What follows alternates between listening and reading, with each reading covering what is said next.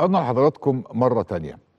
لما بنطلع دايما بنقول لحضراتكم إن مصر بتتعرض لمؤامرات واحذروا طبعا أنتوا كلكم ومعظم الناس لمسة كويس جدا جدا إن آه في ناس بتتربص بهذا البلد. هم حاطين مصر في دماغهم وأولهم قطر.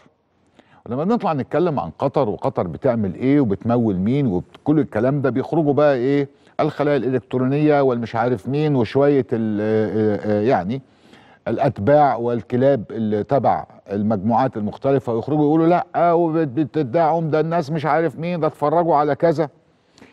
أنا النهارده مخصص لحضراتكم فقرة كاملة. الفقرة اللي جاية دي مفيش فيها ولا كلمة جاية من جوه مصر.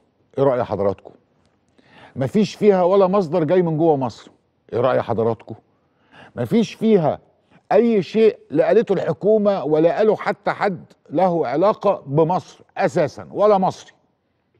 كل اللي حضراتكم هتسمعوه في الفقرة القادمة دي بالكامل وده كذا موضوع مختلف في نفس الإطار عن الإخوان وعن قطر وعن اللي قطر بتعمله وعن تركيا وكل اللي حضراتكم هتسمعوه ده ليس له أي علاقة بمصر ولا مصر هي اللي قالته بل على العكس العالم يتحدث عن هؤلاء.